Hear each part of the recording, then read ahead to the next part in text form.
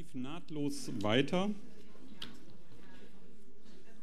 Ich darf Sie jetzt ganz herzlich begrüßen zu dem nächsten Panel, das, wie schon gerade angekündigt, ähm, ja, sich mit äh, Geschlechterfragen auseinandersetzt. Und das heißt, der to share, wie kann faire Arbeitsteilung zwischen den Geschlechtern gelingen. Äh, mein Name ist Henning von Bargen. Ich leite hier in der Heinrich-Böll-Stiftung äh, das Gunda-Werner-Institut für Feminismus und Geschlechterdemokratie zusammen mit meiner Kollegin Ines Kappert.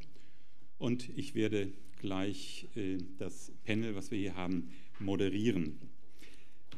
Heute Vormittag äh, wurde bei der Präsentation auch schon der, des familienpolitischen Manifestes deutlich, ähm, dass die aktuelle Herausforderung, den Zusammenhalt der Gesellschaft unter den Bedingungen von zunehmender sozialer Differenzierung und auch fortschreitender Ökonomisierung äh, vieler Lebensbereiche, auch mit den äh, Möglichkeiten ähm, der Familienpolitik ja, gewährleistet werden muss oder ist.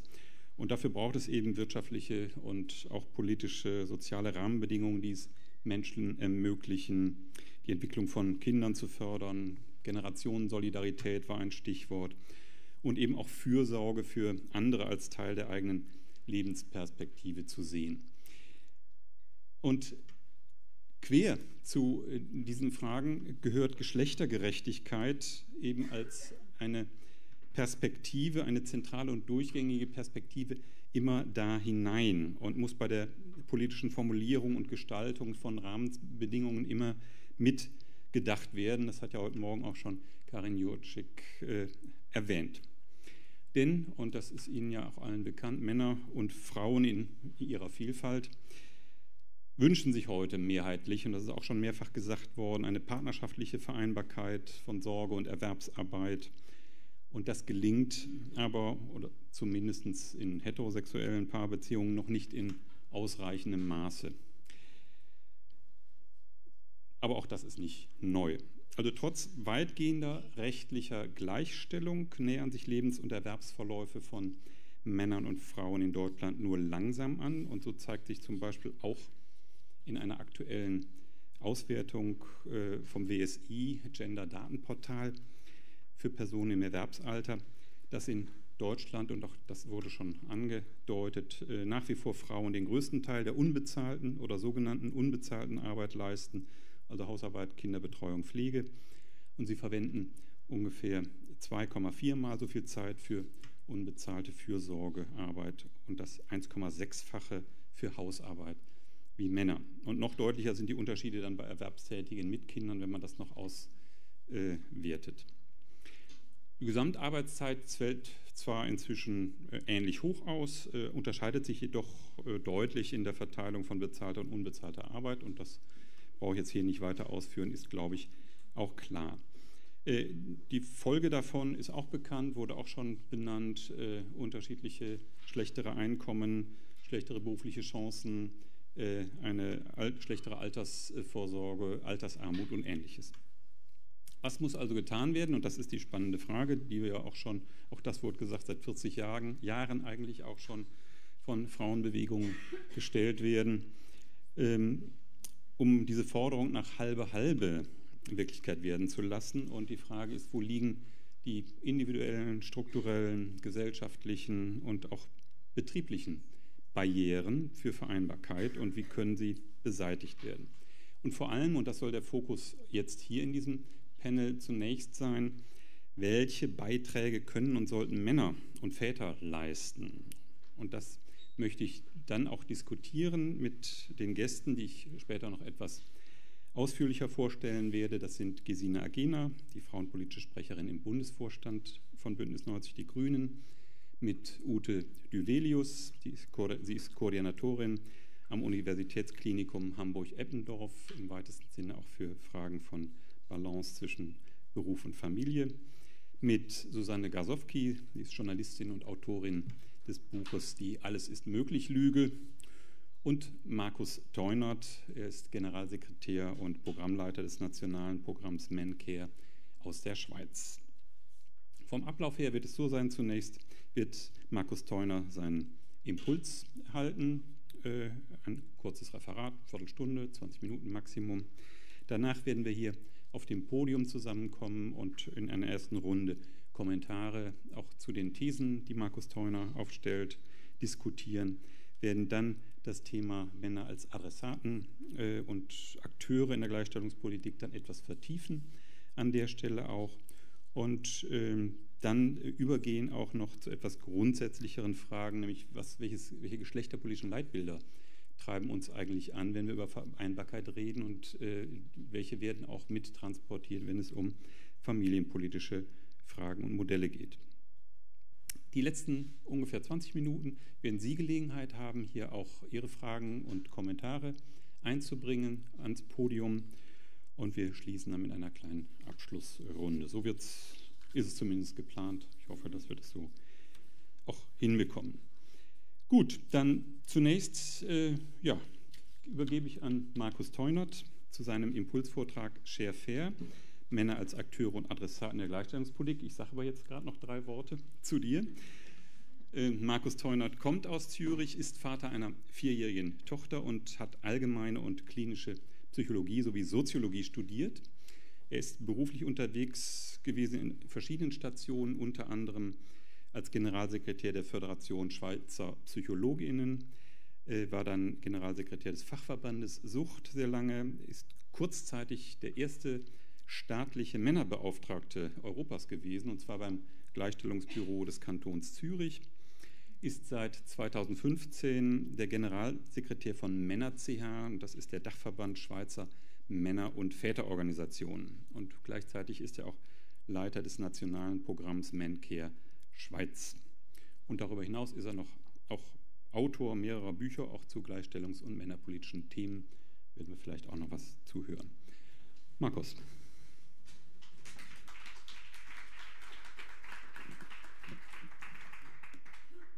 Guten Tag. Danke für die freundliche Einführung. Die Aussage, die da mitgeschwungen ist, ich verdiene mein Geld mit der Frage, wie können Männer zu einem aktiven Engagement im Gleichstellungsprozess ermutigt und ermächtigt oder getrieben oder sonst halt geprügelt werden. Was aber trotzdem schon interessant ist, dass man davon leben kann. Ich möchte Sie ähm, von den, an den Erfahrungen teilhaben lassen, die wir in mittlerweile 15 Jahren progressiver Männerpolitik gesammelt haben. Ich habe das versucht in elf Thesen aufzubereiten. Ich habe natürlich in der Vorbereitung auch das familienpolitische Manifest studiert, das heute präsentiert wurde und bin dabei auf diese beiden Sätze gestoßen, die Sie projiziert sehen. Ich möchte insbesondere auf den zweiten kurz eingehen, die Forderung nach angemessenen geschlechtergerechten Rahmenbedingungen um Mütter und Väter in die Lage zu versetzen, Fürsorge, Erwerbsarbeit, Selbstsorge und bürgerschaftliches Engagement miteinander in Einklang zu bringen. Klar, ähm, ja, also das muss moderne Familienpolitik leisten können. Und trotzdem bin ich gestolpert, nämlich über die doch einigermaßen zahme Ausformulierung dieser Zielsetzung und möchte da mal als Ausgangslage meine erste These formulieren. Wir müssen klar sein, fair heißt hälftig teilen und eine moderne Familienpolitik muss aus unserer Sicht die Aufgabe wahrnehmen, diese hälftige Verteilung der Verantwortung für alle unbezahlten Tätigkeiten zwischen den Geschlechtern zu fördern und einzuklagen. Darunter machen wir es jedenfalls nicht. Das hat Implikationen die erste ist die Frage, wo setzen wir an? Wenn wir den gleichstellungspolitischen Diskurs der letzten Jahre und Jahrzehnte anschauen, dann sehen wir arbeitsmarktliche Maßnahmen, sprich Maßnahmen zur Erschließung der Humanressource Frau. Das ist ähm, politisch angezeigt, dafür findet man Mehrheiten. Sonst wird es dann schnell schwieriger. Wenn wir beispielsweise die Sustainability Goals der UN anschauen, dann finden wir diese Formulierung. Es ist das globale Ziel, die volle Beteiligung von Frauen auf allen Stufen der Entscheidungsfindung und der beruflichen, ökonomischen und politischen Karriere zu ermöglichen. Ja, auch klar. Ich möchte Sie einladen, den komplementären Satz zu lesen und kurz wirken zu lassen. Die volle und effektive Beteiligung und gleiche Chancen für Männer im Familienleben, inklusive der Chancen auf Führung und Definitionsmacht. Oder wahrscheinlich geht es Ihnen vergleichbar. So auf der einen Seite, ja klar, das sollen Männer tun, ja, sie sollen ihre Hälfte der Verantwortung wahrnehmen und auf der anderen Seite auch so ein, ein leichtes Unbehagen. Jetzt, jetzt kommen die Männer und wollen da die Hälfte der Macht zu Hause. Das hat auch etwas Unangenehmes und die Aussage, die sich darin versteckt, ist, hier passiert etwas Entscheidendes. Ich möchte Ihnen kurz das grafisch nochmals darstellen, was aus unserer Sicht das Problem ist und wo die Hebelkräfte sind. Wir haben von dieser Zweiteilung gehört. Es gibt rund volkswirtschaftlich etwa gleich große Kuchenstücke an zu erledigender Arbeit. Eine Hälfte ist bezahlt, die andere ist unbezahlt. Die Verteilung zwischen den Geschlechtern ist alles andere als fair. Wir haben auf Frauenseite rund zwei Drittel der unbezahlten Arbeit und ein Drittel der bezahlten Arbeit, die geleistet wird und auf Männerseite komplementär, zwei Drittel bezahlt, ein Drittel unbezahlt. Damit ist aber auch immerhin gesagt, es gibt kein faules Geschlecht. Männer und Frauen arbeiten gesamtgesellschaftlich statistisch gleich viel, aber halt sehr ungleich verteilt. Die Frage, wenn wir jetzt diesen ganzen Kuchen aus dieser Schräglage in eine vertikale Stellung bringen wollen. Wo setzen wir an? Die naheliegende Antwort, wie gesagt, arbeitsmarktliche Maßnahmen zur Förderung von Frauen in die Erwerbsarbeit. Das wird getan, das ist sicher auch eine gute Sache und gleichzeitig ist der Erfolg überschaubar. Im Bild selbst sieht man es, weshalb das nicht funktionieren kann, diesen ganzen Kreislauf in diese Richtung zu drücken, wenn man nur eine der vier möglichen Hebelkräfte nutzt. Die Anschlussthese ist, wir müssen alle Hebelkräfte nutzen, also auch Hebelkraft 2, Männer aus der Erwerbsarbeit herausfördern, das heißt konkret Teilzeitarbeit für Männer propagieren und wir müssen bei den Hebelkräften 3 und 4 Männer ins Familienleben hineinfördern und genau hinschauen, was da passiert beim 4. Was hindert Frauen daran, die unbezahlte Arbeit einfach nicht zu tun? Da stoßen wir über Mütterlichkeitskonzepte, die genauso relevant sind wie Väterlichkeitskonzepte. Die Behauptung ist, die Sache entscheidet sich da unten in dieser unteren Arbeit, in dieser unteren Hälfte des Modells und da wird politisch nicht konsequent hingeschaut. Heißt, wenn man das als Forderung formuliert, wenn das was werden soll mit der hälftigen Beteiligung von Männern an der unbezahlten Arbeit, dann müssen sie auch die Möglichkeit haben, diese unbezahlte Arbeit zu leisten. Das heißt, sie müssen es tun und sie müssen gelassen werden, es zu tun. Ähm, wir kommen da sicher noch in der Diskussion drauf. Das sind echt heikle Punkte. Ich gebe Ihnen ein Beispiel aus der Väterarbeit. Wir müssen mit Männern daran arbeiten, über mehrere Stunden. Das ist echt kein leichter Prozess, sie zu befähigen, die Wahl der Farbe der Strümpfe, die das dreijährige Kind anzieht, selbst zu bestimmen und auch gegen mütterlichen Einspruch zu verteidigen. Das ist, ja, das ist ein bisschen lustig schon, ich finde es auch lustig, aber das ist ernst gleichzeitig auch, ähm, weil es einfach zeigt, es ist verdammt schwierig, diese Definitionsmacht die historisch gewachsen halt ähm, auf Frauenseite liegt, mit allem guten Willen fair zu teilen. Und da braucht es sehr viel Gutwill und Sensibilität von beiden Seiten. These 4. Ich will da wirklich sehr eindeutig sein. Die Schräglage ist völlig unbestritten, was bezahlte und unbezahlte Arbeit angeht. Und gleichzeitig ähm, es ist für Männer oft auch nicht glaubwürdig, diese Statistiken zu sehen, weil sie sagen, aber ich ähm, gehe jeden Samstag als äh, Fußballtrainer aufs Feld, ja, zählt das nichts, beispielsweise. Es gibt verschiedene solche Beispiele, auch in Zeiterfassungsstudien. Ja, wird es dann wirklich anerkannt, ähm, den Versicherungsschein auszufüllen oder das Auto zu waschen? Solche Dinge, die halt traditionellerweise Männer eher tun. Wir haben für das nationale Programm Men Care ein Modell entwickelt, das Caring Masculinities konkretisieren soll.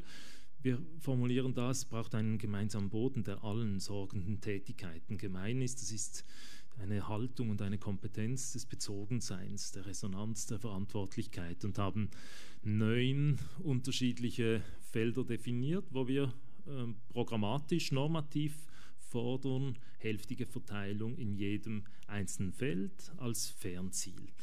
Ich habe eines ausgespart und dort wird die Problematik auch schön sichtbar. Wir streiten um diese Sorge um Sicherheit. Können wir all diese Leistungen, die Männer heute tun in den Armeen dieser Welt, aber auch in den Sanitätsdiensten, in den freiwilligen Feuerwehren, in den Zivildiensten und Zivilschutzdiensten und was es da alles gibt.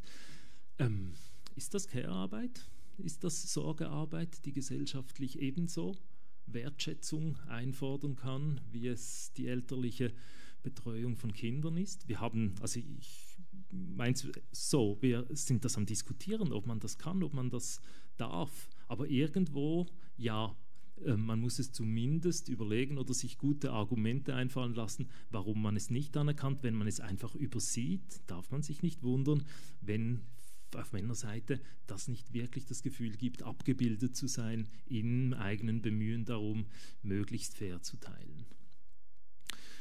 These 5, es braucht gendersensible empirische Grundlagen. Das ist mh, hm, kaum wahnsinnig umstritten. Ich möchte Sie einfach kurz darauf hinweisen, dass es da auch ganz viel gibt, beispielsweise diesen State of the World Fathers Report, der im Rahmen der globalen Men-Care-Kampagne entstanden ist und ganz viele interessante empirische Grundlagen zum Thema bereithält. Es braucht natürlich auch einen politischen Willen und entsprechende Rahmenbedingungen. Da ist Deutschland zum Glück weiter als die Schweiz. Gleichwohl ähm, in diesem Kontext hier die, der Wunsch, die Aufforderung meinerseits auch bei den Maßnahmen, die getan werden, hinzuschauen, sind es die. Wir haben heute viel gehört über neue Maßnahmen, die ergriffen werden müssten. Ich möchte mir da nicht anmaßen, etwas dazu zu sagen. In diesem Zusammenhang einfach der Hinweis, auch die Dinge, die bereits getan werden, könnten verbessert werden. Beispielsweise müssen wir aufgrund internationaler Erfahrungen annehmen, dass Vaterschaftsurlaube dann funktionieren im Sinn von mehr als ein Drittel der Männer macht nach acht Jahren, zehn Jahren nach Einführung, ähm, wenn sie kürzer sind und besser bezahlt. Das kann man beklagen und sagen, ja, pff, das ist ja wohl unfair, jetzt müssen wir das väterliche Care-Engagement auch noch extra vergolden. Man kann es aber auch einfach als Realität anerkennen. Wenn wir nur ein Drittel der Väter erreichen, dann ist es uns einfach nicht gelungen, die Mitte der Gesellschaft zu erreichen. Es wählt auch ein Drittel linksgrün und deswegen ist äh, die Welt und die Gesellschaft noch lange nicht linksgrün. Es braucht nationale Programme, einen Wertewandel und einen langen Atem. Ich möchte hier ganz kurz auf das Thema Main Care eingehen. Wir machen das seit 2014 als nationales Programm in der Schweiz. Laufzeit mal erste Etappe bis 2027. Also wir sehen das wirklich als langfristiges Programm. Ziel, Caring Masculinities zur Selbstverständlichkeit machen, als Gegenmodell zu allen Formen ausbeuterisch privilegierten privilegierter Männlichkeiten, die uns heute als Normalität und Maßstab für ein Männerleben verkauft werden. Konkret heißt das Förderung väterlichen Engagements, ganz konkreten väterlichen Engagements. Also unser Begriff väterlicher Involviertheit umfasst beides. Being engaged im Sinn von die Hälfte der Zeit verwenden und being concerned, die Hälfte der Verantwortung übernehmen, auch für das, was eben gern an, bei den Müttern hängen bleibt, daran denken, dass ein Zahnarzttermin ansteht, solche Dinge. Wir haben ein Wirkungsmodell, in dem wir postulieren, also Sie sehen diesen Wirkungsraum auf der X-Achse, die Achse der Veränderung vom Wissen über den Wertewandel bis hin zur Verhaltensänderung respektive der strukturellen Veränderung der Verhältnisse oben, auf der Y-Achse vom Kleinen ins Große, vom Individuum über die Institutionen und Organisationen in die Gesellschaft und die Politik und sagen, wir müssen alle fünf Dinge gleichzeitig tun. Wir müssen evidenzbasiert arbeiten und die Grundlagen erarbeiten. Wir müssen, das ist der große Pfeil in der Mitte, die Wertedebatte führen. Es ist keine Frage der richtigen Technik, wie man jetzt Männer dazu bringt, mehr zu tun. Es ist eine Frage tief verwurzelter Selbstverständnisse, das sind transgenerationale Erbschaften, die wir da antreten und auch transgenerationale Wunden, die wir heilen müssen. Ähm, das müssen wir ansprechen, um das sind die weiteren drei Pfeile, konkret Rahmenbedingungen zu verändern, institutionell, organisationale, insbesondere ähm, unternehmensseitig Veränderungsprozesse anzustoßen und im sozialen Nahraum entsprechend zu wirken. Die abschließenden vier Thesen dienen vor allem darum, äh, dafür, kurz die Programmatik, die wir Männer.ch als Dachverband progressiver Männer- und Väterorganisationen vertreten, die sich im deutschsprachigen Raum so relativ homogen entwickelt hat, aber in einer nicht riesigen, aber doch etwas Spannung steht zu den skandinavischen Ansätzen. Konkret gelingt es uns im deutschsprachigen Europa, eine Brücke zu schlagen zwischen profeministischen Männerbewegungen und Männernetzwerken und emanzipatorischen, nennen wir die Männernetzwerken. Der Unterschied ist klein. Die Ziele sind die gleichen, die Analyse ist die gleiche. Das ist natürlich eine feministische Analyse, aber die Überzeugung, wie man dieses Ziel erreicht, das ist etwas anders. Insofern emanzipatorische Ansätze es erlauben, Dinge zu tun, einfach weil sie äh, für Männer äh, Vielfalt mit sich bringen, weil sie beispielsweise Caring Masculinities zur Normalität machen. Die wirken ja sowieso positiv auf ähm, die Frauen, auf die Kinder, auf die Umwelt, auf die Gesellschaft als Ganzes.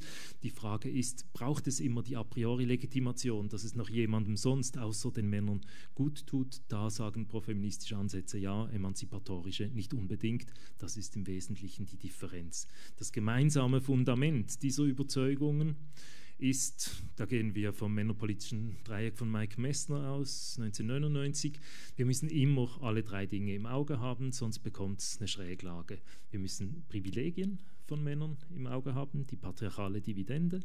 Wir müssen auch die Kosten im Auge haben, beispielsweise die geringere Lebenserwartung. Und wir müssen die Unterschiede innerhalb der Gruppe der Männer, das ganze Thema Intersektionalitäten im Auge haben. In der Mitte, in der dynamischen Mitte dieses Dreiecks befindet sich das Terra progressiver Männer- und Männlichkeitspolitiken. Wir müssen etwas bieten, das auch für den Durchschnittsmann irgendeine erstrebenswerte Perspektive ist, eine Sehnsucht weckt, damit wir über dieses Pflichtgefühl und dieses Reagieren auf Veränderungsappelle aus schlechtem Gewissen oder mangels besserer Argumente rauskommen. Was gibt es zu gewinnen? Lebensqualität, beispielsweise. Ich habe ein weiteres Dreieck, es kommen jetzt einfach noch drei Dreiecke und dann haben wir den Impuls geschafft. Ein weiteres Dreieck, das aber das Dilemma schön aufzeigt. Was diskutieren wir politisch? Wir diskutieren die Vereinbarkeitspolitik im Sinn von, wie bekommen wir Beruf und Familie unter einen Hut aus Männerperspektive nicht sehr attraktiv, weil das heißt einfach noch mehr Arbeit. Die Erwerbsarbeit wird nicht weniger, weil die alternäre Rolle wirkt, aber die Care-Arbeitserfordernisse werden größer, weil man schließlich ein moderner Vater sein möchte und auch ein einfühlsamer Gesprächspartner. Ähm, das heißt, es gibt nichts zu gewinnen, es gibt nur einfach noch mehr Arbeit zu leisten, wenn es uns nicht gelingt, auch das Thema Eigenzeit ähm, in den Blick zu nehmen. Stichwort Zeitpolitik, die heute angesprochen wurde. In diesem Dreieck in einer Vereinbarkeit aller Dreiecken, da gibt es Luft zum Atmen, da gibt es irgendeinen Horizont, der anzustreben auch in einer traditionellen Männerbiografie attraktiv ist. Es braucht eigenmotiviertes und selbstverantwortliches Engagement von Männern in der Gleichstellungspolitik. Wir arbeiten mit dem Ansatz Triple Advocacy, dass wir sagen, als Männer haben wir in diesen historischen Ungleichzeitigkeiten drei Aufgaben, die wir nicht gegeneinander ausspielen dürfen, sondern wir müssen die Balance suchen zwischen allen drei Aufgaben. Wir sind natürlich die, die männliche Verletzlichkeiten anliegen, Bedürfnisse formulieren. Wir sind aber auch die, die solidarisch sind mit dem Kampf um Frauenrechte oder um eine Pluralität von weiblichen Entwicklungsmöglichkeiten und wir sind auch die, die für eine Equality for All Gender uns einsetzen. Wiederum die Aussage, in der dynamischen Mitte dieses Dreiecks kann progressive Männerpolitik oder progressive Beiträge von Männern zur Geschlechtergerechtigkeit können da passieren, die eben nicht trotzdem dann wieder unter dem Deckmantel des progressiven stille Resouveränisierungs- und Reprivilegierungsversuche sind. Und zum Schluss Es braucht Politikansätze, die auch männliche Lebenslagen ganz bewusst und eben ausdrücklich nicht als stille Norm und Referenz reflektieren und einbeziehen. Ich habe mir den Spaß gemacht, kurz zu schauen im Manifest respektive dem Begleitband dazu. Ähm, das Wort Väter kommt 14 Mal vor, das Wort Mütter 21 Mal und das Wort Eltern 399 Mal. Ja, es ist beides aus meiner Sicht. Es ist gut, wenn der Elternbegriff äh, deshalb verwendet wird, weil gendersensibel das reflektiert wurde und man zum Schluss gekommen ist, es macht Sinn, den generischen Begriff Eltern zu verwenden. Es wäre weniger gut, falls dieser Zwischenschritt analytischer Art nicht erfolgt ist und man einfach den Elternbegriff verwendet hat, weil man keine Zeit oder keine Nerven hatte, zu reflektieren, was Väterperspektiven und was Mütterperspektiven in diesen Problemlagen sind. Ja, klar. Und das führt zu diesem letzten Dreieck, also der programmatischen Ansage, es sollte möglich sein, männerspezifische Teilstrategien, frauenspezifische Teilstrategien und geschlechterübergreifende Teilstrategien zu reflektieren und dann auch wieder zusammenzuführen. Ich danke schon mal für die Aufmerksamkeit und freue mich auf die Diskussion.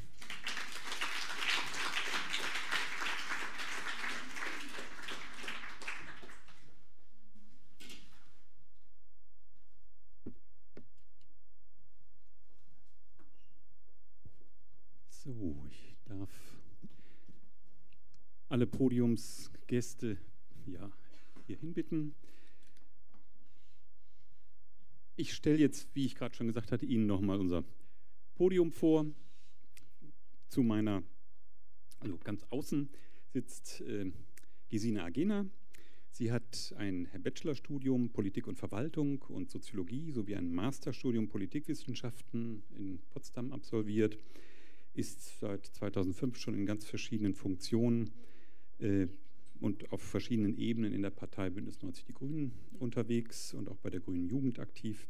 Seit 2013 jetzt Mitglied im Bundesvorstand von Bündnis 90 Die Grünen und frauenpolitische Sprecherin der Bundespartei. Daneben engagiert sie sich noch sehr und insbesondere gegen den Kampf gegen Rechts und in Auseinandersetzung, ist in Auseinandersetzung mit dem Thema auch Rechtspopulismus. Sie ist Gründungsmitglied des Instituts für solidarische Moderne und hat im Januar 2016 auch nach Köln äh, das Bündnis Ausnahmslos mit initiiert und äh, ist auch Mitglied hier in der Familienpolitischen Kommission. Daneben Markus Teunert hatte ich soeben vorgestellt. Dann darf ich ebenfalls begrüßen Susanne Gasowski. Sie ist verheiratet, hat zwei Söhne. Schon während ihres Geschichts- und Politikstudiums hat sie als Journalistin für verschiedene Tageszeitungen und den Hörfunk gearbeitet, hat ein Volontariat äh, gemacht im, bei der Axel Springer Journalistenschule hier in Berlin und arbeitete als Reporterin und Redakteurin bei der Berliner Morgenpost. Dann wechselte sie zum WDR, erst als Autorin für tagesaktuelle und landespolitische Magazine, später zusammen auch mit dem bekannten Frank Plasberg als Redakteurin und Chefin vom Dienst bei WDR Extra. Dann kam die Leitung der ARD-Talkshow Gabi Bauer und ihr Schwerpunkt war auch eigentlich immer schon die Gesellschaftspolitik, hat das frauenpolitische Magazin Frau TV ähm, gestaltet im WDR und ja, hat sich immer für neue Formate dann auch interessiert. 2014 und gerade deswegen haben wir sie auch eingeladen, hat sie sich zusammen, hat sie zusammen mit Britta Sembach das Buch Die Alles ist möglich Lüge zum Thema Familie und Familienpolitik und Vereinbarkeit geschrieben. Und sie ist selber beruflich vor drei Jahren erheblich kürzer getreten und hat diesen Schritt noch keinen Tag bereut, schreibt sie auf ihrer Website. Genau, steht so auf der Website. Genau. Ja, zu meiner Rechten darf ich begrüßen Ute Düvelius. Sie kommt aus Hamburg, ist vierfache Mutter und arbeitet im Universitätsklinikum Hamburg-Eppendorf als Koordinatorin für Arbeitsgruppen zu den Themen Balance zwischen Beruf, Familie und Freizeit, Gesundheit und Führung, Qualifizierung im Rahmen der beschäftigtenorientierten Personalpolitik des UKE, wie es heißt.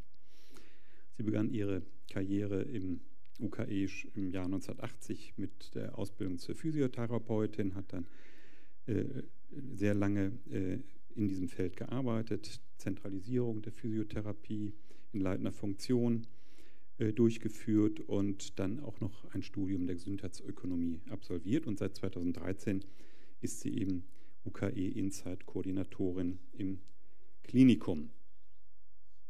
So, das Klinikum, und das ist vielleicht auch noch eine wichtige Information, hat die Charta der Vielfalt unterschrieben und äh, ist auch Preisträger äh, des, äh, im Unternehmenswettbewerb Erfolgsfaktor Familie 2016 gewesen, und zwar in der Kategorie äh, Großunternehmen. Und auch da werden wir vielleicht noch das eine oder andere hören, warum das der Fall war. Gut, ich hatte schon angekündigt, wir starten mit einem ersten, mit ersten Kommentaren vielleicht auch zu, dem, äh, zu den elf Thesen von Markus äh, Teunert.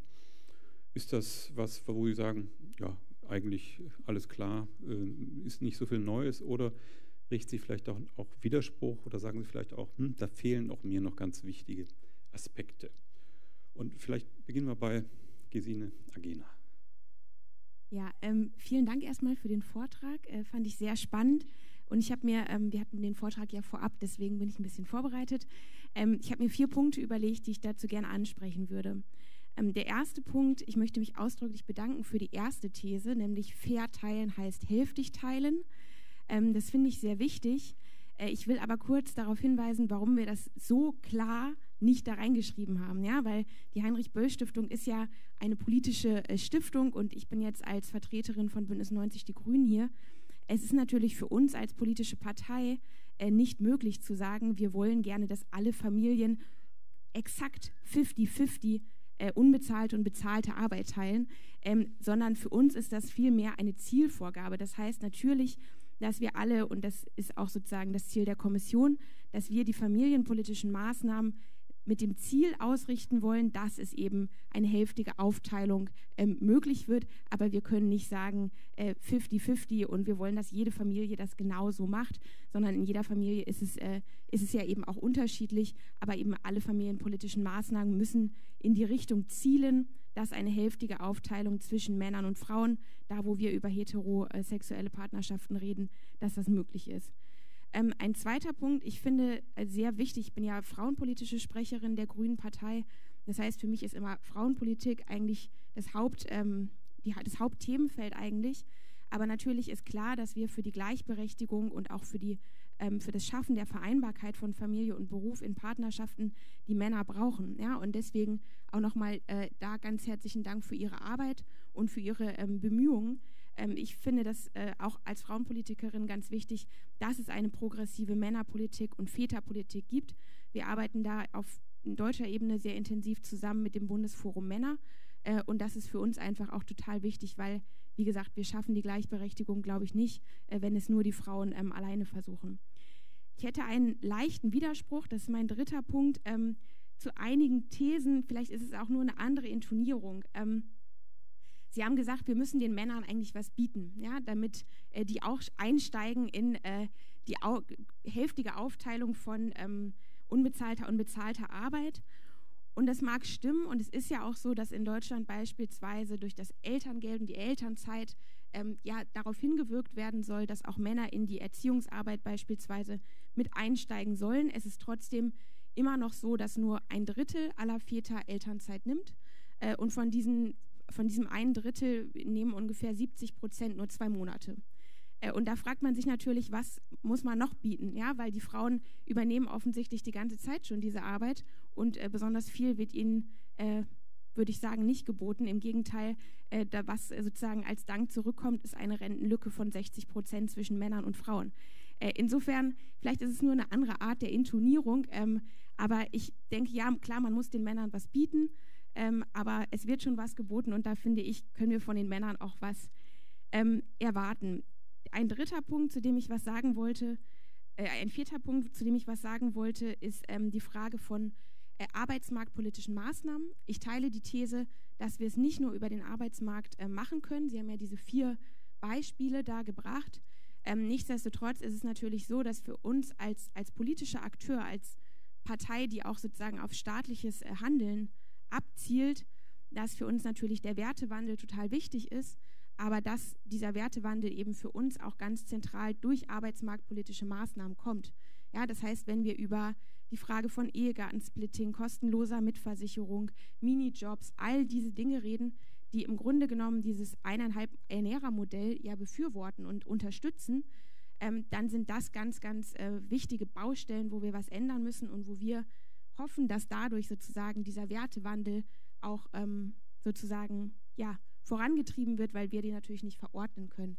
Äh, und da glaube ich, und das ist vielleicht äh, der letzte Punkt, ich glaube, ganz oft sind es die gleichen Maßnahmen, die sowohl Frauen es ermöglichen, ähm, mehr erwerbs zu arbeiten sozusagen äh, und Männern es ermöglichen, mehr ähm, ja, Erziehungsarbeit beispielsweise zu übernehmen.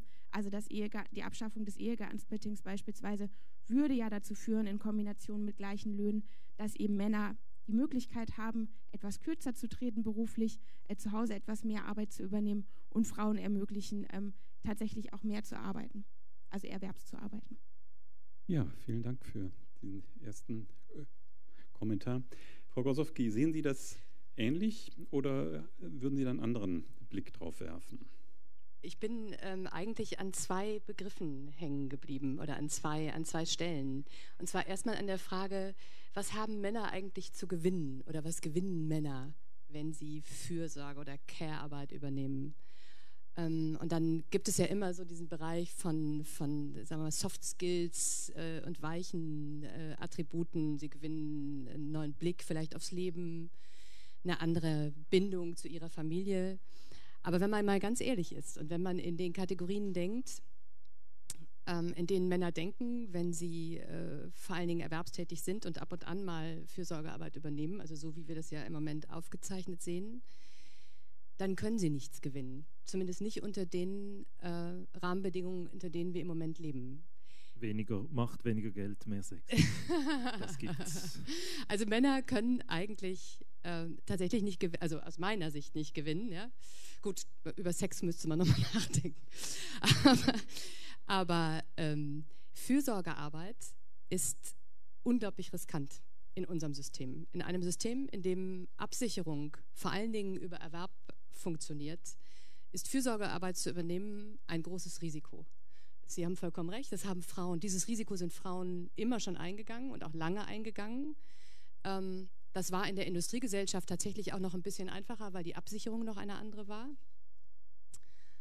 Ähm, durch das neue Unterhaltsrecht äh, ist die auch noch verloren gegangen. Das heißt, auch Frauen fragen sich heute immer stärker und immer mehr, und zwar auch immer mehr zu Recht, ob sie dieses Risiko eigentlich eingehen. Das zeigen die, das zeigt das relativ hohe Erstgebärendenalter. Das zeigt eine relativ hohe äh, Kinderlosenquote, die wir haben, auch wenn sie im Moment stagniert. Ähm, und solange wir Fürsorge tatsächlich, ich würde sogar provokant sagen, bestrafen in unserem System, indem wir es äh, äh, sozusagen zu einem, zu einem, zu einem, zu einer freiwilligen Übernahme machen, äh, die einem weniger Zeit ermöglicht, um dann erwerbstätig zu sein.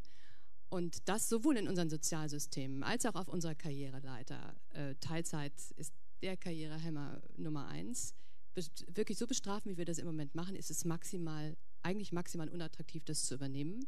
Und ganz ehrlich, das habe ich schon öfter gesagt und auch geschrieben, und Männer wären mit dem Klammerbeutel gepudert, wenn sie das freiwillig täten. Ähm, der zweite Punkt, über den ich, wir können ja dann darüber sprechen, äh, was man tun muss, damit sie es machen. Der zweite Punkt, über den ich gestolpert bin, war eigentlich ein kleiner, äh, ein Wort in Ihrem Vortrag nämlich Väterurlaub. Dieses Wort Urlaub, ähm, finde ich, symbolisiert eigentlich all das, fast all das zusammen, worüber ich gerade gesprochen habe. Familienzeit, Care-Arbeit als äh, Kindergroßziehen, als Urlaub zu betiteln, finde ich, führt komplett an der Sache vorbei. Das ist Arbeit. Und wir hatten vorhin, ich greife jetzt mal ein bisschen zurück, auch mal, mal die Diskussion über bezahlte und unbezahlte Arbeit. Wir nennen das ja im Moment unbezahlte Arbeit. Ähm, also es ist Arbeit. Wir müssen vielleicht mal den Arbeitsbegriff auch definieren. Und sie ist im Moment unbezahlt und wird bestraft.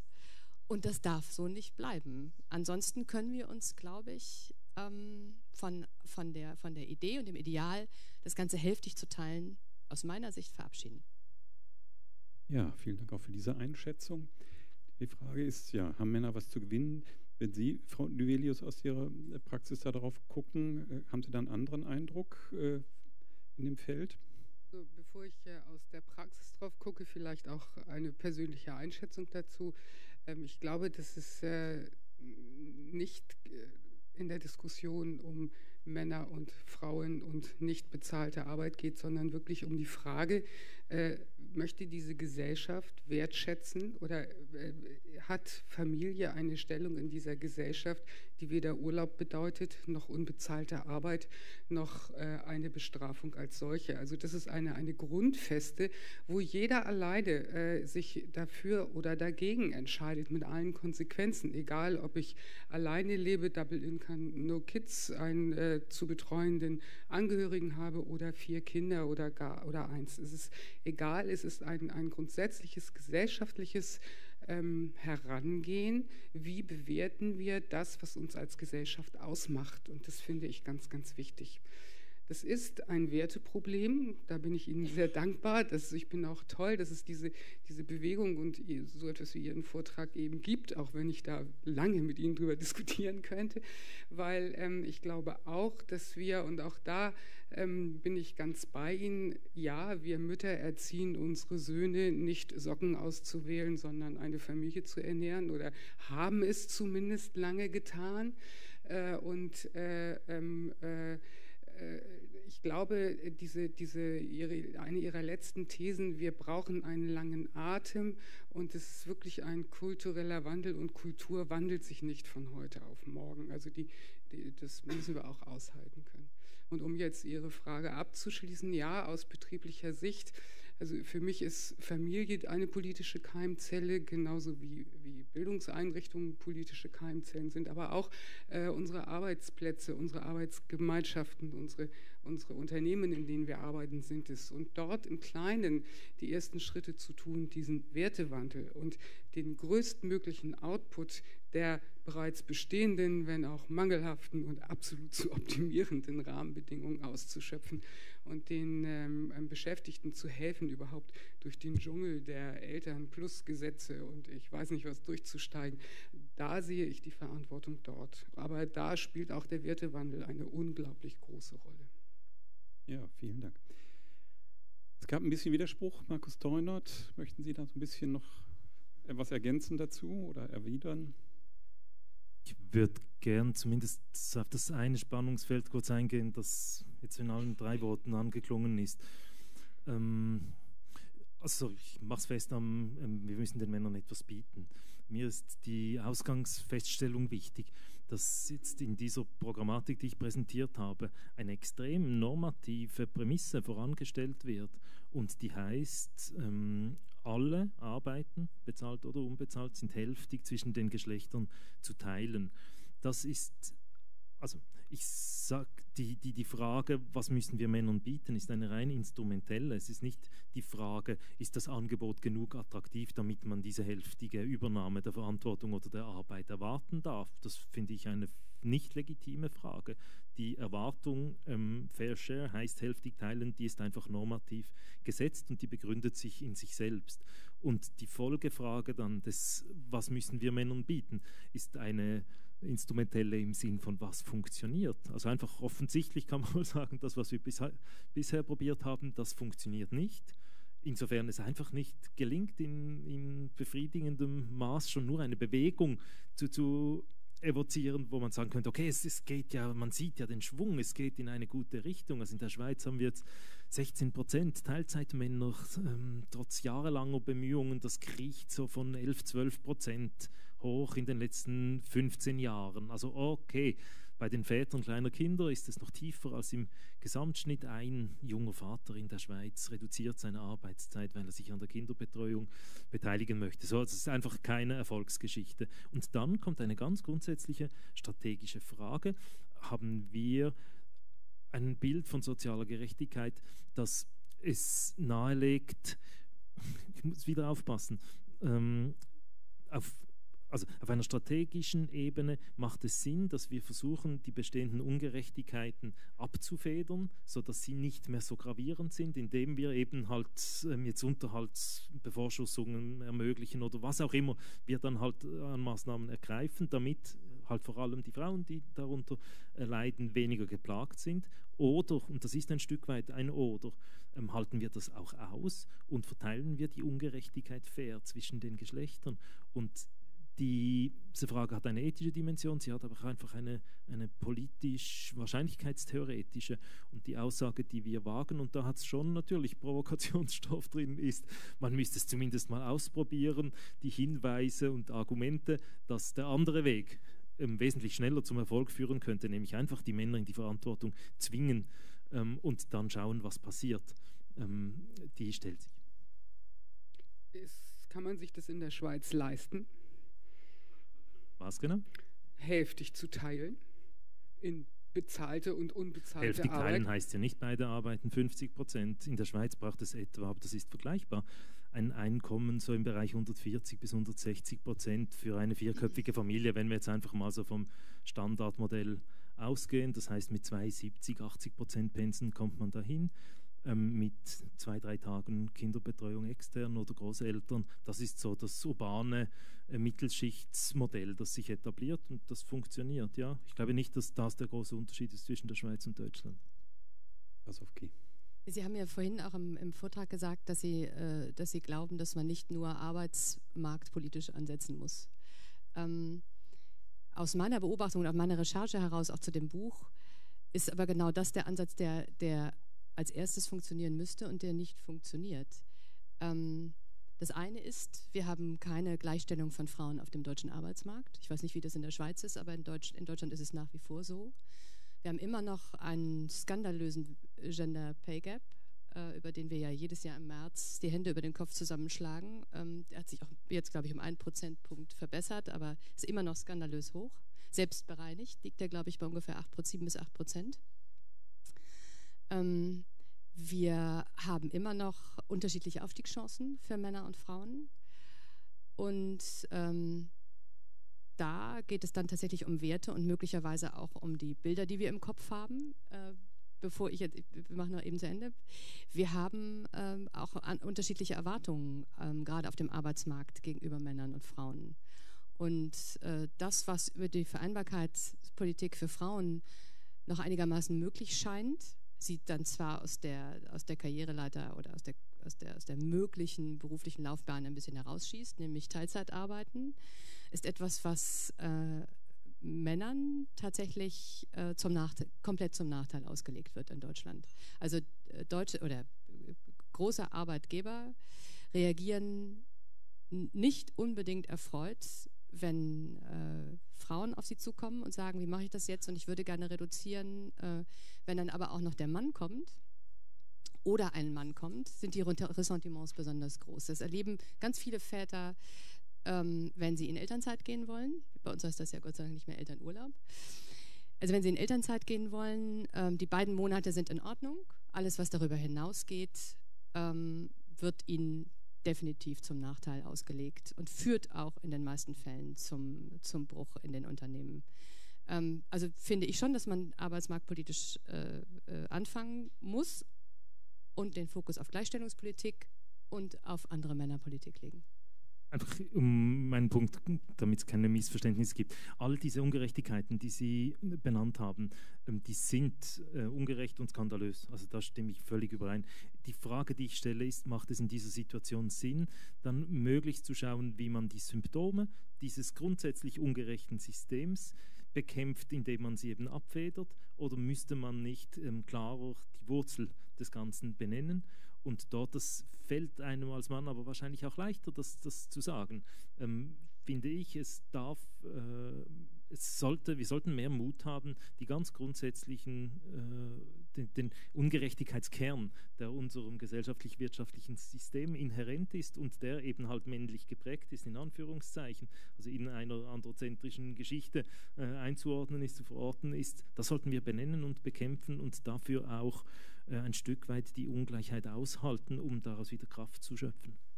Das wäre jetzt fast die Systemfrage, ne? Das, äh das habe ich jetzt tatsächlich nicht verstanden. Ähm, Oder? Also, also ich mache. Äh, ja, ja, ja, Genau. Ein konkretes Beispiel. Wir äh, hatten in der Schweiz auch eine Sorgerechtsdebatte beispielsweise und finden uns dann in Konstellationen wieder, dass wir an der Seite von äh, väterrechtlerischen Organisationen für mehr väterliche Beteiligung uns engagieren gegenüber unseren linksgrünen Verbündeten. So.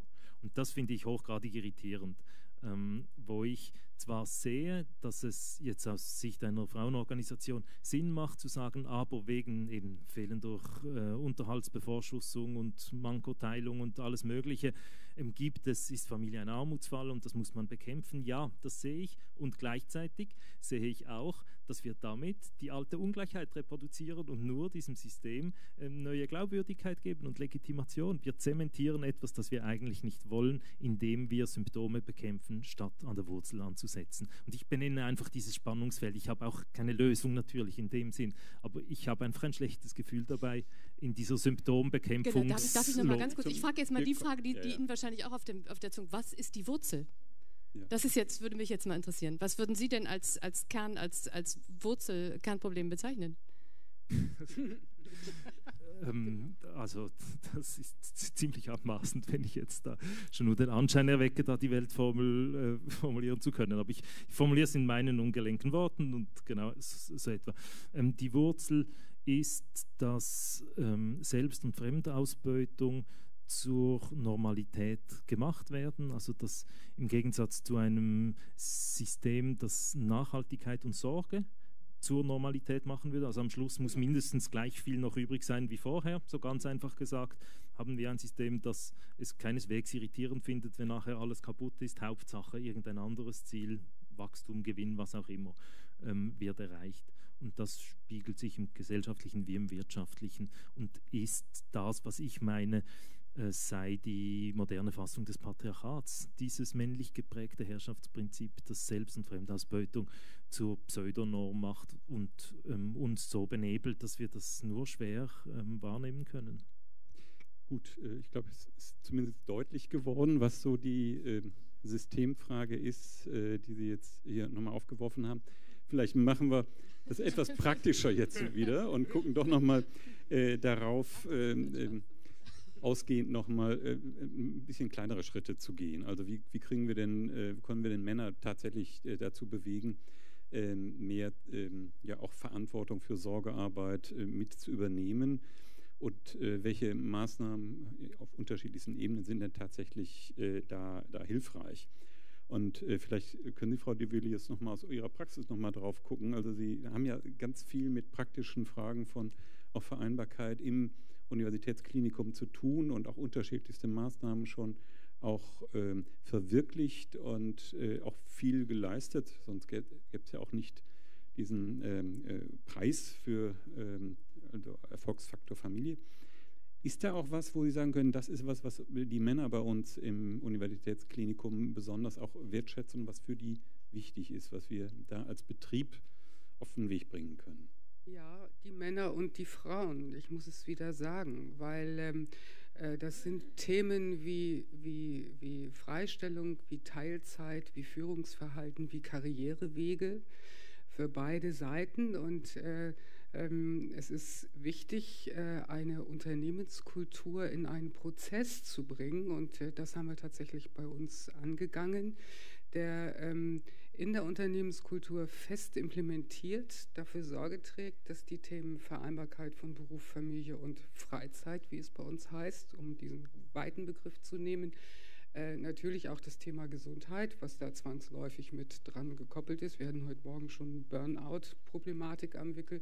Und das Thema Führung und auch Qualifizierung so aufzustellen, dass es ähm, vom Unternehmen gewollt äh, in direkter Zusammenarbeit in diesen Arbeitsgruppen, jeweils mit Vorstandsmitgliedern, mit Personalvertretung, mit allen Gleichstellungsbeauftragten, die wir im Unternehmen haben, aber auch mit Experten äh, und auch Interessierten interprofessionell und interdisziplinär. Das heißt, die, die Basis, die, die Beschäftigten ebenso wie die Führung können arbeiten an diesem Thema gemeinsam. Und äh, es gibt so verschiedenste Projekte, im Moment haben wir so 28 laufen, die diese Themen, wo aus den äh, äh, aus verschiedensten Quellen heraus diese Themen miteinander bearbeitet werden und diesen Prozess des Wertewandels ständig immer wieder antreiben. Also dieses Rad wird immer gedreht und ein ganz, ganz wichtiger Punkt ist, dass so etwas wie Elternzeit, auch für Väter,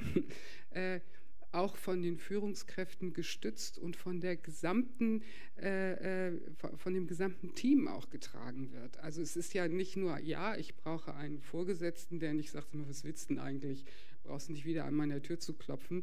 Deine Karriere kannst du jetzt vergessen, du kannst gerne reduzieren. Das ist ein Punkt. Da muss man dafür Sorge tragen, dass man wirklich äh, alle Beschäftigten, alle Führungskräfte dort mit in diesen Wandel einbezieht und ihnen auch Zeit für Diskussionen gibt und auch eine Unterstützung gibt, ein Team abzuholen, weil auch im Team kommt die nächste Diskussion in Gang. Äh, wenn der reduziert, wie soll denn dann das weiterlaufen? Also das ist für mich wirklich, und jetzt komme ich auf meine Eingangszweifel zurück, ein wirklich grundlegend gesellschaftliches und auch in dem Betrieb, ein, wenn ich die, den Betrieb jetzt als diesen, dieses Gesellschaftsmoment nehme, ein, ein Problem, wo wir uns der Diskussion auf allen Ebenen stellen müssen. Ich muss mit, mit äh, allein äh, äh, arbeitenden ohne Familie, Double Income, No Kids genauso diskutieren, wie so Karrierewege und eine, eine Umverteilung stattfinden kann, äh, äh, wie ich das mit mir als Mutter von vier Kindern tun muss. Und dann müssen wir gemeinsam einen Weg gestalten, dort hinaus zu finden. Und es geht nicht um Mann gegen Frau oder natürlich muss der Wertewandel durchgehend äh, immer wieder in Gang gehalten werden. Ich finde, wir sind da auf einem guten Weg, aber ähm, noch lange nicht. Also das geht weiter und weiter. Ja, vielen Dank. Äh, Frau Gasowski, Sie hatten ja gerade gesagt, Männer haben nichts zu gewinnen. Sie haben aber in Ihrem Buch auch äh, durchaus eine Reihe von ähm, ja, äh, Interviews geführt mit Männern in unterschiedlichsten Lebenssituationen. Ist Ihnen letztendlich dabei vielleicht dann doch das, die ein oder andere ähm, Maßnahme in den Blick geraten, wo Sie sagen können, ja, das ist was, was auch helfen kann, ähm, da voranzukommen, um Männer auch stärker in Verantwortung äh, gehen zu lassen, zu nehmen? Ähm, in diesem Buch beschäftigt sich, es ist ja sozusagen das größte Kapitel äh, des ganzen Buches, äh, ähm, da geht es um den Mann. Ähm, allerdings mit der etwas provokanten Überschrift, die ich auch gerne mal, mal zitieren kann. Ja, der neue Mann äh, hilft, wo er kann, außer montags und freitags äh, von 8 bis 20 Uhr.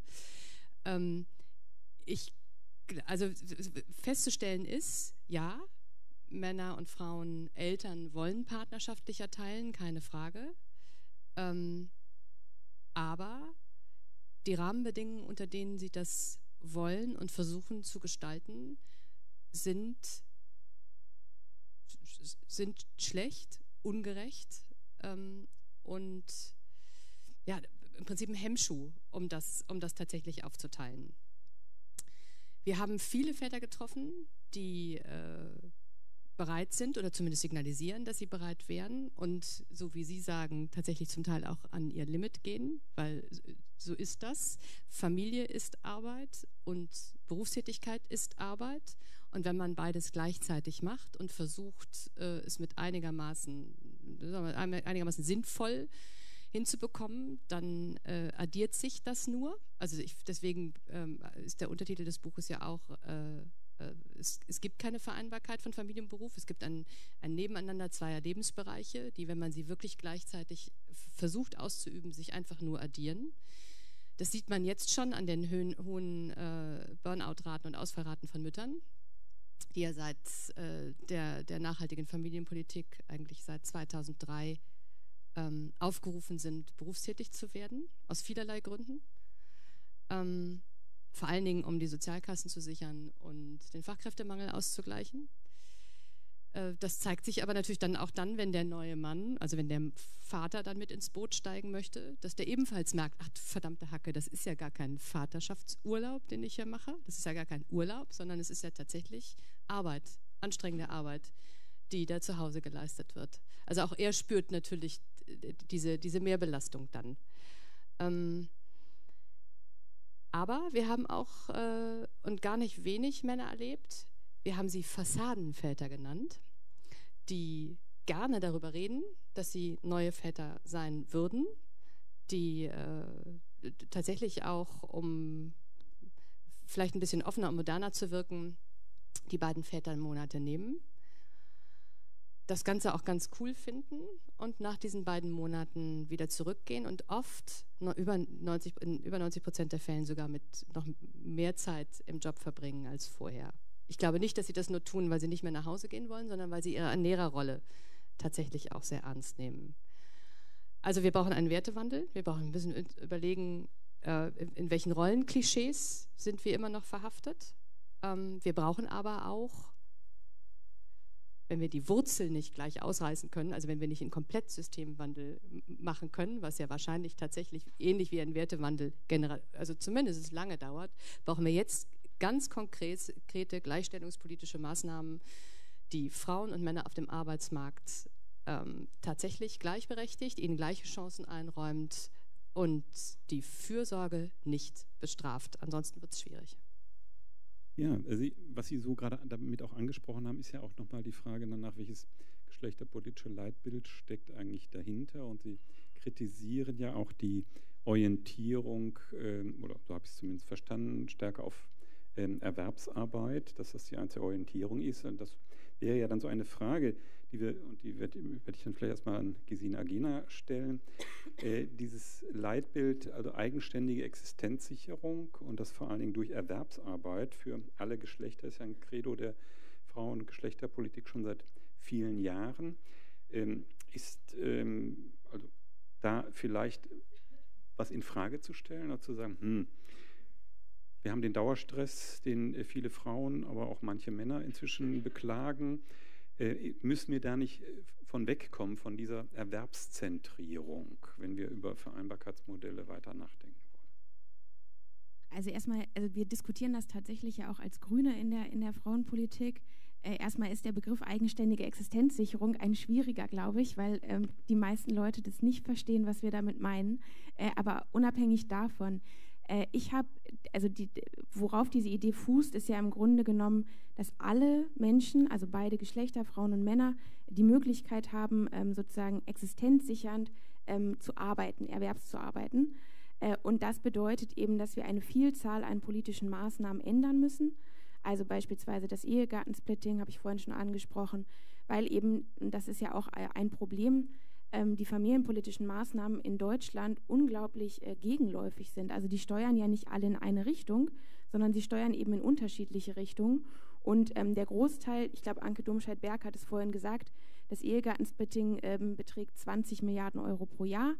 Ähm, der Großteil dieser familienpolitischen Maßnahmen steuern eben in die Richtung, dass sich Familien, also Eltern, ähm, das Zuhause immer noch so aufteilen, dass die Frau tendenziell Teilzeit oder nicht arbeitet oder in Minijobs arbeitet und die Männer weiter Vollzeit arbeiten.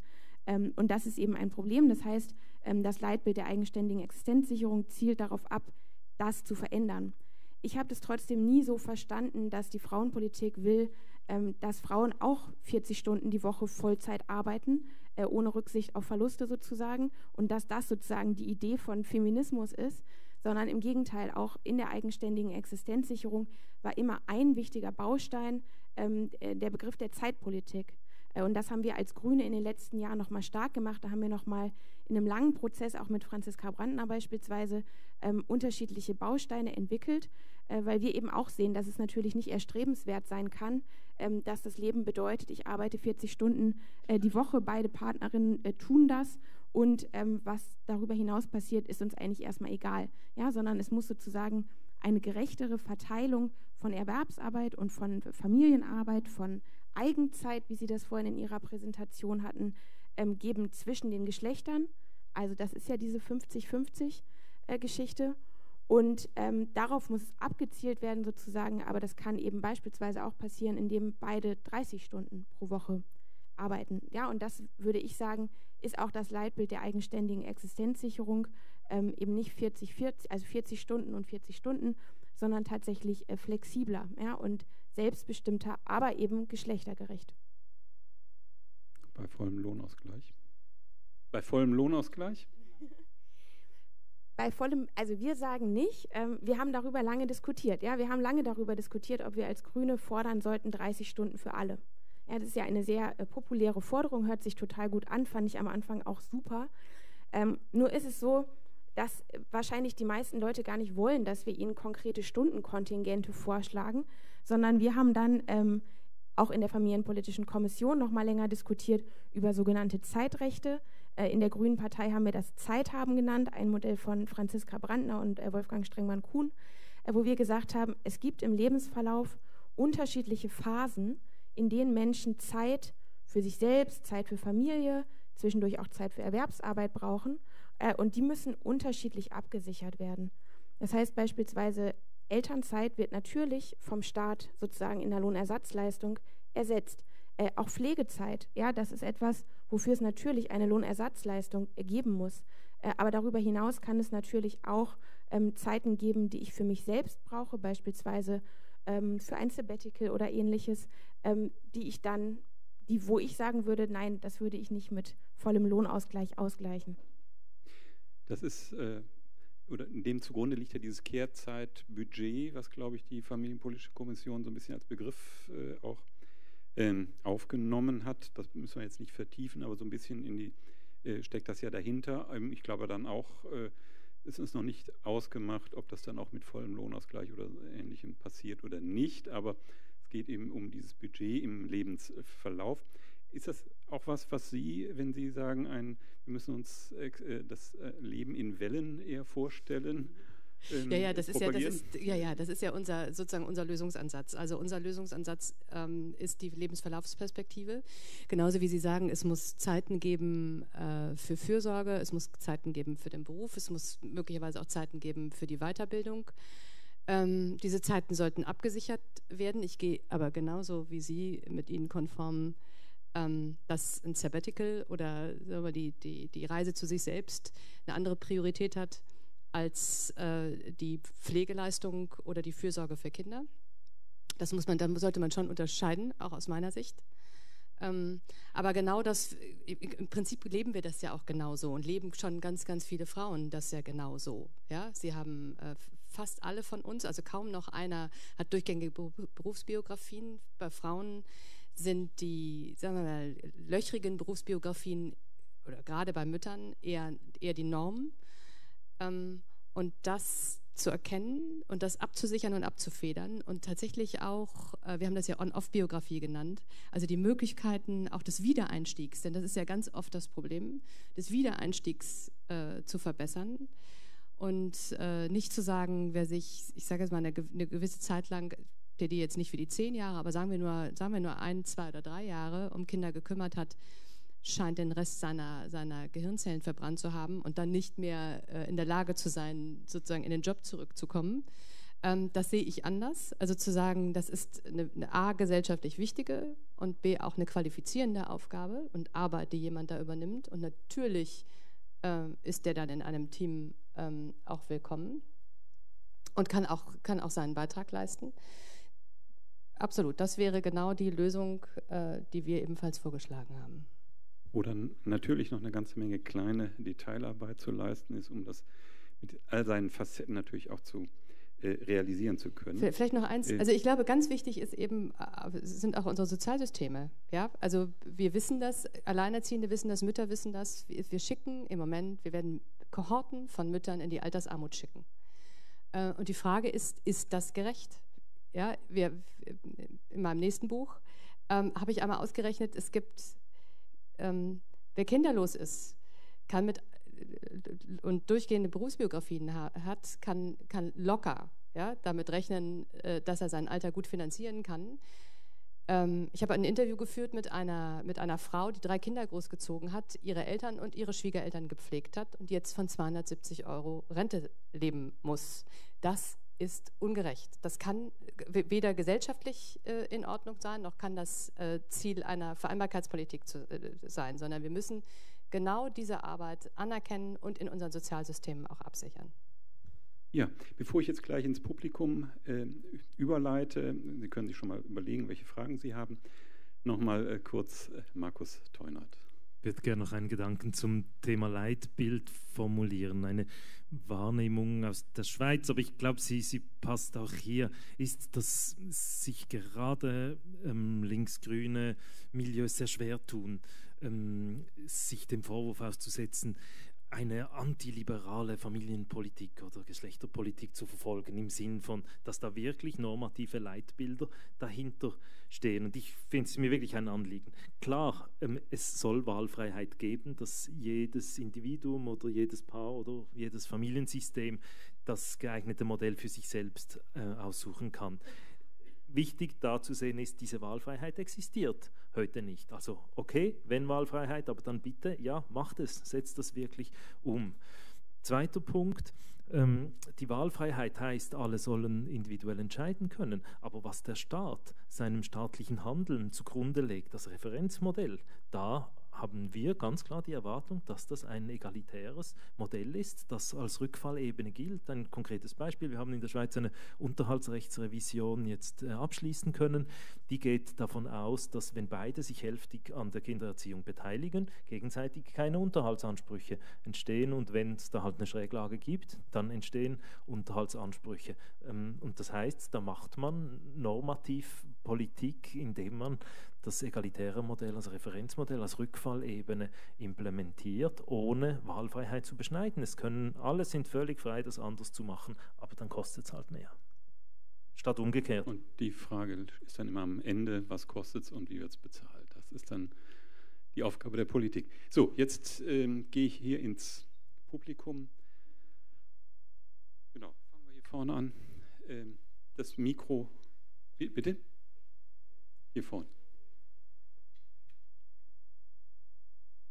freue mich ja total, dass äh, wir hier so konsensual sind und dass Sie das Thema Zeitpolitik nochmal genauso aufgreifen, wie wir das im Forum vorhin äh, diskutiert haben. Also das finde ich wirklich schön. Wenn ich was festhalte, merke ich, da kommt offensichtlich was zusammen. Ähm, wo ich ähm, wirklich nicht sicher bin, äh, wenn man es konkret meint. Mit dem Share heißt hälftig teilen. So, also fair ist wirklich hälftig teilen.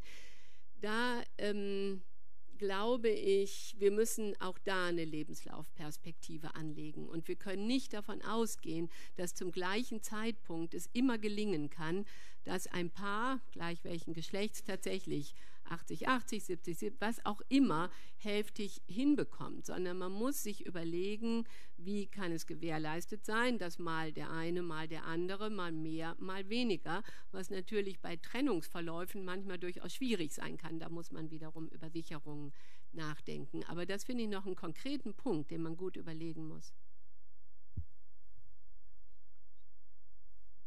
Ja, also ich habe mich auch sehr gefreut, dass äh, viele dieser Ideen hier auch sehr ähm, kompatibel sind mit, ähm, mit den Grundaussagen im zweiten Gleichstellungsgutachten für den zweiten Gleichstellungsbericht der Bundesregierung, wo genau diese Lebensverlaufsperspektive drin ist, wo genau auch diese also nicht unbedingt hälftige Teilung, aber ein Leitbild im Grunde genommen dem Ganzen zugrunde liegt, das davon ausgeht, dass Menschen gestützt auf eine gute Ausbildung äh, sich sowohl eine substanzielle Erwerbsbiografie aufbauen können, als auch Zeit für Kinder, für Pflege, für Selbstsorge und für ähm, auch Nachbarschaftsarbeit zu haben. Und von daher finde ich es einfach jetzt auch nochmal interessant, dass aus unterschiedlichen äh, Richtungen wir offensichtlich immer stärker auch oder größere Schnittmengen finden. Und das ist auch, finde ich, wichtig, wenn man solche Dinge im politischen Raum umsetzen will. Ich äh, würde gerne noch eine Anmerkung machen ähm, zu Ihren Erfahrungen, Frau Kasowski, mit Ihren Interviews. Sie hatten gesagt, bei diesen Fassadenvätern äh, kommt eben raus, dass Sie die zwei Monate nehmen und dann äh, ist wieder alles beim Alten und Sie äh, haben danach sogar noch einen größeren Umfang an Erwerbsarbeit. Es gibt eine Studie vom Wissenschaftszentrum in Berlin, die das ähm, analysiert hat und die einen ganz anderen Befund ähm, zutage fördert, nämlich dass die Väter nach Rückkehr in, ihrs, in ihr Erwerbsleben ihre wöchentliche Arbeitszeit zwischen 2,5 und 4 Stunden nach unten schrauben mit der Begründung, sie möchten ihren Partnerinnen eine eher ebenbürtige Erwerbsbeteiligung ähm, ermöglichen und dass eben gleichzeitig sich doch zeigt, sowohl die Beziehung zu den Kindern als auch zu der Partnerin also sind, sind äh, besser als äh, in diesen anderen Konstellationen. Also das wollte ich einfach nur noch mal ergänzen, dass es diese Erfahrungen auch gibt, was vielleicht dafür sprechen würde, dass man auch noch mal über die Ausdehnung dieser Vätermonate, also mehr eine paritätische Verteilung nachdenken. Ja, ich komme einen kurzen Kurze Präzisierung. Das gilt dann, wenn äh, die Väter auch Zeit alleine nehmen und die nicht gemeinsam mit ihren Partnerinnen nehmen. Das finde ich eine total interessante Sache. Und in der Regel, wenn sie mehr als zwei Monate nehmen, dann setzt diese genau. Bereitschaft zur Reduktion ein genau. der also, Arbeitszeit. Vielleicht auch zur Präzisierung noch mal ganz kurz zu meinen Interviews. Ähm, genau das ist der Punkt. Äh, es gibt Väter, die sind engagiert und die nehmen mehr und machen das. Es gibt aber viele Väter, und wir haben sie halt Fassadenväter genannt, die eher wieder in das alte Rollenmuster zurückkippen. Ähm, ich kenne jetzt diese Studie nicht, kenne andere Studien, die ist jetzt wahrscheinlich relativ, relativ neu. Ähm, nichtsdestotrotz, äh, die, die Entscheidung für, also wer reduziert wie viel, wer übernimmt welche Aufgabe in der Familie, wird in allen Familien, die ich kenne, in der Regel mit dem Gehaltszettel in der Hand und mit der Frage, wer hat dann die meisten Möglichkeiten entschieden. Und aufgrund der fehlenden Gleichstellungspolitik, also der fehlenden Gerechtigkeit zwischen den Geschlechtern, ist es tatsächlich in ganz, ganz vielen Fällen noch so, dass Frauen da einfach argumentativ die schlechteren Karten haben. Und äh, ohne, den, ohne den Männern äh, sozusagen dadurch jetzt einen Vorwurf zu machen, ich glaube, dass sie dann, weil so eine Familie Geld kostet, ja, Familie ist ein Armutsrisiko, äh, rutschen sie dann automatisch oft, oder oft automatisch in die Fürsorgerolle. Ich glaube, das ist dann, hat viel damit zu tun, welche Möglichkeiten hat jeder Einzelne. Okay. Danke. Darf ich ganz kurz einen Gedanken formulieren. In der Väterarbeit unterscheiden wir zwischen Männern mit Kinderwunsch und Familienwunsch und ich finde die, also die ist auch empirisch belegbar, sehr hilfreich. Es gibt Männer, die wünschen sich eine Beziehung zu einem Kind, so das Vater sein, und es gibt Männer, die wünschen sich eine Familie zu haben, im Sinn von ein äh, Status, einen Status erreichen. So, und das sind zwei ganz unterschiedliche Dynamiken, die man auf dem Radar haben muss, was da passiert dann bei der Aufgabenteilung. So, jetzt der Herr. Ja, ähm, ich habe zwei Themen, die ich mal ansprechen möchte bezüglich der Eltern. Ähm, es wurde schon gesagt, die Rahmenbedingungen sind halt so, wie sie sind. Ich möchte dazu mal zwei Beispiele geben. Ähm, das erste Beispiel ähm, bezieht Elterngeld und Elternzeit. Also wir beraten Eltern zu beiden Themengebieten und ähm, es gibt immer wieder arge Probleme. Nehmen wir ein Beispiel. Ähm, die Mutter nimmt sieben Basismonate Elterngeld von den 14 Zustehenden. der Vater möchte 14 Elterngeld plus Monate nehmen. Okay, er reduziert seine Arbeitszeit ähm, von 40 auf 18 Stunden. Sein Gehalt sinkt von 6.000 Euro Elterngeld netto auf 3.000 Euro Elterngeld netto. Ist die Frage, wie viel Elterngeld plus bekommt er? Nun ja, es könnten 1.800 sein, 900 Euro. Ich kann Ihnen sagen, was es ist. Sind genau 150 Euro. Na, durch die Kappungsgrenze von 2.770 Euro. Die kennen die Eltern nicht, aber wenn sie Elterngeld Bescheid bekommen, kennen sie die dann. Ähm, der erste war der erste Fall. Der zweite ähm, nehmen wir ein Beispiel, die Mutter nimmt den ersten bis zwölften Basis, der Vater den ersten und zweiten Basis. Und jetzt haben Sie gelesen, es gibt da die Partnerschaftsbonusmonate, äh, 25 bis 30 Wochenstunden. Das heißt also, ähm, dass beide auch noch den 13. bis 16. beantragen müssen. Nun ist es so, aufgrund der ähm, Zwei-Jahres-Fristerklärung bei der Elternzeit muss der Vater das schon bei der Geburt mit angeben. Ähm, und bei der Elternzeit ist es nun so, er ist in Kündigungsschutz im ersten und zweiten Lebensmonat und vom 13. bis 16. Ähm, was ist dazwischen? Ja, im dritten Lebensmonat kann er die Kündigung auf den Tisch kriegen. So ist es.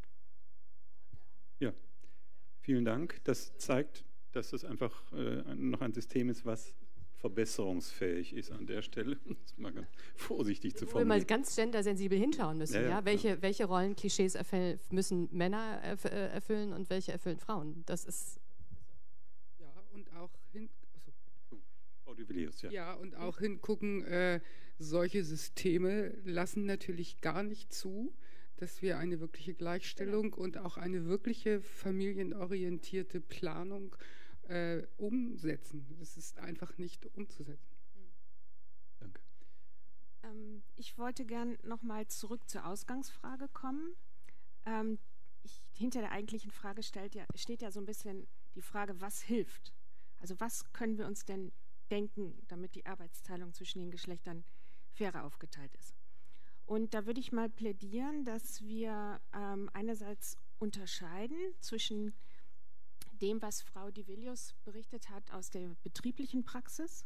Das ist mir jetzt so ein bisschen nah. ähm, äh, weil da geht es natürlich um das Individualrechtsverhältnis Arbeitgeber-Arbeitnehmer und es hat ganz viel zu tun mit der Unternehmenskultur. Und natürlich ist es äh, ganz wichtig, wie ähm, Unternehmen ihre Mitarbeiterinnen und Mitarbeiter ansprechen und wie kreativ sie darin sind, solche Lösungen zu finden, wie, wie sie bei ihnen gelingen. Ich glaube, ähm, bei der Familienpolitik und insbesondere bei den familienbezogenen Leistungen, ähm, bei dem, was der Staat tun kann, sind wir noch einen Riesenschritt weiter, weil wir sehen das seit Einführung des Elterngeldes, auch wenn, es, wenn die Väter wenig Monate nehmen, zu wenig, ähm, dass ja jedes Jahr mehr Mütter früher in den Arbeitsmarkt zurückkehren und jedes Jahr genauso viel mehr Väter dabei sind, sich ähm, sozusagen diese Partnermonate zu geben. Das heißt, es, es, hat, es hat sich sehr viel, sehr viel getan. Und meine Frage ist im Grunde, wenn wir jetzt nur über abgesicherte Auszeiten sprechen, also wir sagen, ähm, es muss möglich sein, im Lebenslauf ähm, zu reduzieren und sich das ähm, staatlich unterstützt zu ermöglichen. Was lässt uns glauben, dass diese individuelle Möglichkeit etwas dazu beiträgt, dass die Arbeitsteilung fair wird, fairer wird? Ähm, ist es nicht das, was wir jetzt eigentlich schon kennen mit der früher mal äh, Einführung Teilzeit- und Befristungsgesetz, hat eine geschlechtsspezifische Nutzung durch Frauen insbesondere zutage gefördert. Auch im Grunde das Elterngeld in seiner alten Form hat dazu geführt, ähm, dass vor allem die Mütter sind, die länger aussteigen und die Väter, die kürzer aussteigen. Ähm, ist es nicht, müssen wir nicht einen Schritt weiter gehen und versuchen, die Familienleistung so weiterzuentwickeln, dass wir wieder schaffen, beide zu adressieren und beide auch in ihren Wünschen wahrzunehmen. Mütter wollen meist mehr arbeiten, so ist es, gerade bei Müttern mit kleinen Kindern immer noch. Und mhm. Väter wollen auch mehr Zeit für die Familie haben. Das schaffen wir eigentlich mit einer Leistung, die asymmetrisch adressiert, wäre mein Plädoyer. Ja, danke. Wer möchte hier auf dem Podium einsteigen? Ja, Sie nicht. Genau, also ich würde halt auch sagen, es ist ja eben nicht so, dass wir nur auf dieses, die Frage von Elternzeit oder Elterngeld äh, fokussieren sollten, sondern tatsächlich auf die anderen familienpolitischen Maßnahmen.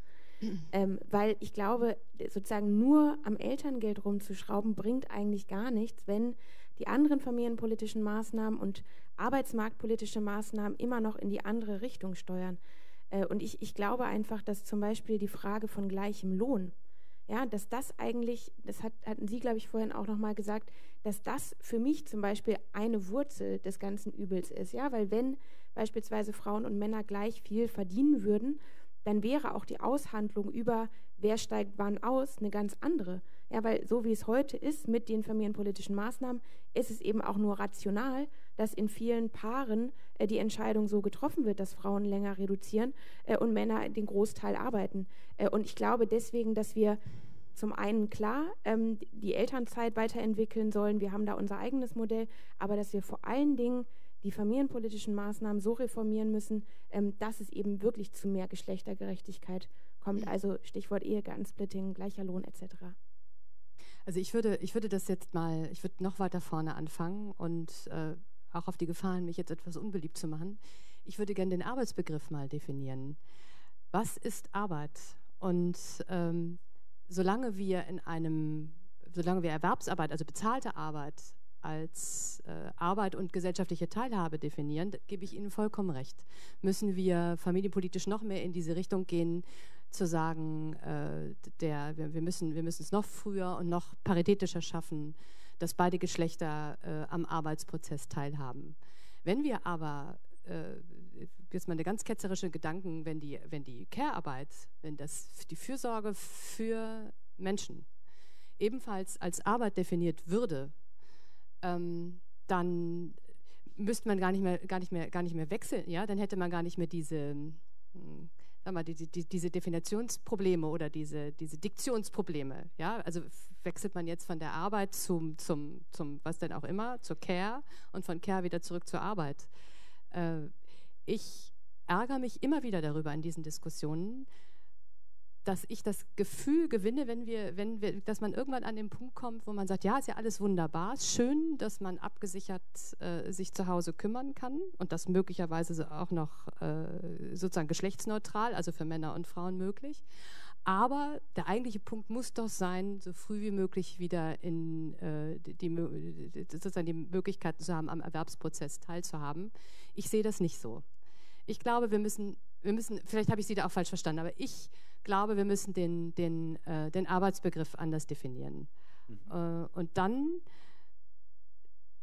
zusammen mit arbeitsmarktpolitischen äh, Möglichkeiten und einer Geschlechtergerechtigkeit äh, kommen wir, glaube ich, also aus meiner Sicht zumindest, also für, meine Haltung, ähm, zu einer fairen Aufteilung. Odibelius und dann. Ja, und ich äh, spinne das noch weiter, wenn wir wirklich äh, eine, eine Gleichstellung wollen, müssen wir auch den Begriff Karriere erweitern. Weil das wird uns immer wieder in den Nacken schlagen. Und in dem Moment, wo in einem Lebenslauf äh, vier Kinder großgezogen wurden oder auch nur eins und mich das nicht hindert, meine Karriere fortzusetzen, egal ob ich ein Mann oder eine Frau bin, äh, dann haben wir es wirklich geschafft, Familie so zu etablieren, dass es eine wirkliche Gleichstellung geben kann. Und ich glaube, das sollte auch als Ziel ganz dringend formuliert werden. Ähm, ist immer wieder diese Huhn- und Ei-Frage. Wo kann man ansetzen, um die Entwicklung in Gang zu setzen? Einfach ganz simpel und konkret jetzt, wenn wir wollen, dass die Väter zu Hause mehr anpacken, da haben wir Wissen. Wir brauchen politische Maßnahmen, die sie unmittelbar nach der Geburt, also die sie schon vor der Geburt mitnehmen. Das erhöht die Wahrscheinlichkeit involvierter Vaterschaft signifikant. Ähm, ganz sensible Phase rund um die Geburt. Ähm, Sie dürfen nicht vergessen, äh, Frauen schütten rund um die Geburt äh, Prolaktin aus und diese ganzen hormonellen Geschichten, die laufen da einfach automatisch als Programm. Männer haben diese Fähigkeit, das Potenzial, genau die gleichen hormonellen Prozesse äh, lanciert zu bekommen quasi im Körper, aber nur, wenn sie ganz konkret auch mit dem Kind in der Interaktion sind und diese Botenstoffe ausgeschüttet werden. Und dann äh, braucht es Maßnahmen, die, das wurde auch gesagt, eigenverantwortliche Betreuung von Vätern ermöglichen. Also das sind politische Maßnahmen, aber auch dann die Zurückhaltung der Mütter. Das ist entscheidend, ob Männer das Gefühl haben, sie sind kompetent in diesem ähm, Bereich. Wenn sie einfach Angst haben davor, dann tun sie es nicht. Das ist ja sehr menschlich. Und wenn sie das Gefühl haben, klar kann ich das, vielleicht mache ich es anders, aber es ist halt mein Stil des Bevaterns, der nicht einfach eine Kopie von Bemuttern ist, sondern so wie ich das Gefühl habe, Kraft meines meiner väterlichen äh, meines väterlichen Gespürs, das eben nicht weniger ist als das mütterliche, dann klappt.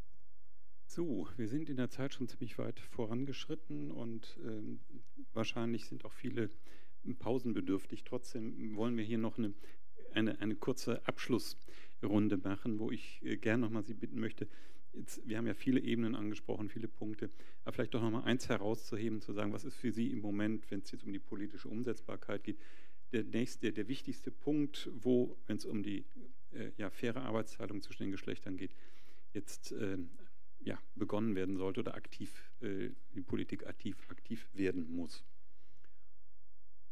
Ja, ich soll anfangen. Also die ähm, politischen Rahmenbedingungen voraussetzend, ich glaube, das ist auch nicht mein Part hier, äh, würde ich mir wünschen, dass tatsächlich in den verschiedensten Betrieben, egal ob groß oder klein, dieser Blick auf Familie und Mann und Frau auch in der Führungskultur tatsächlich weiter gefördert und umgesetzt wird. Das ist für mich der allererste Schritt. Vorher brauchen wir nicht weiter zu reden.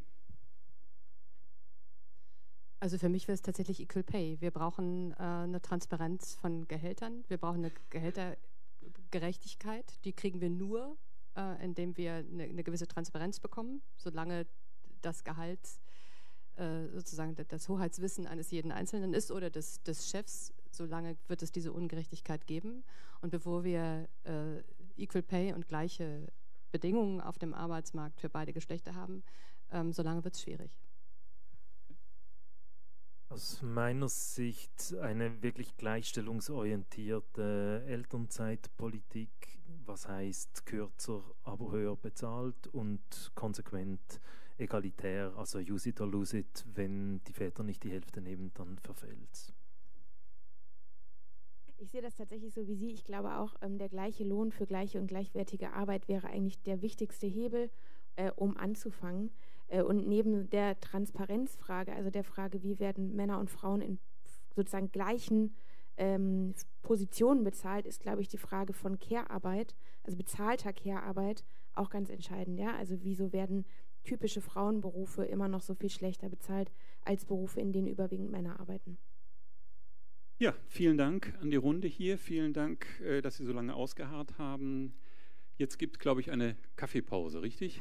Kaffeepause, richtig. Und dann ähm, treffen wir uns gleich um halb äh, wieder hier, ähm, um über das schon vielfach angeklungene wichtige Thema Teilhabe und Verwirklichungschancen von Kindern äh, zu sprechen. Ich äh, genießen Sie Ihren Kaffee und bis gleich.